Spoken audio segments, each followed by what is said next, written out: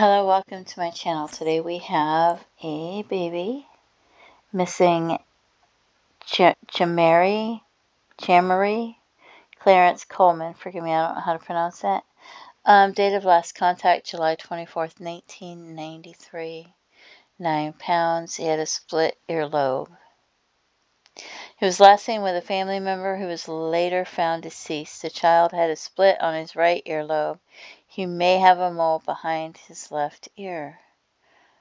Uh, black hair, brown eyes. And this is supposed to be a picture of what a split earlobe might look like.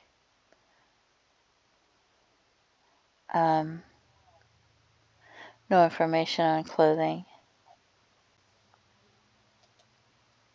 There's a picture of him as a baby. They have some age progressed photos of what he may have looked like later on. A composite. Um, Charley Project.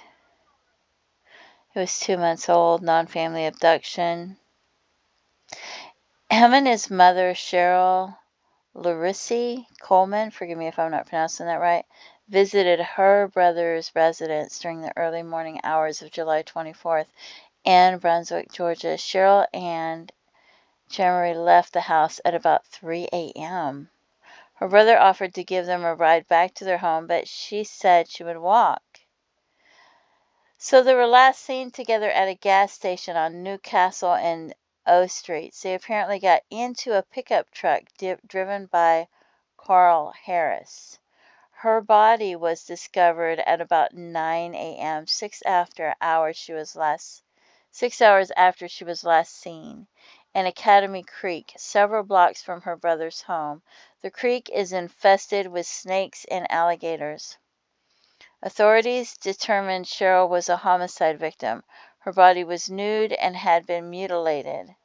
There was no sign of the baby at the scene, but his baby carrier and blanket were left behind.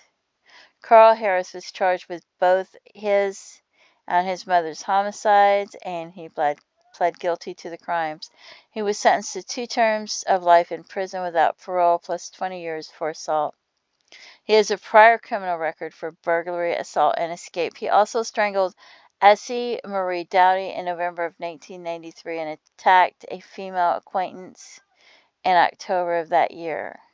He stated that he killed Cheryl in a wooded area on Homer Wilson Way on Andrews Island, then left the baby at the edge of Academy Creek after he put her body in the water.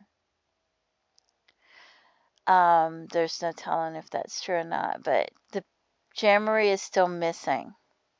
So it's believed that he may have been swept away by the high tides, which is very sad and horrific. So if you have any information about him,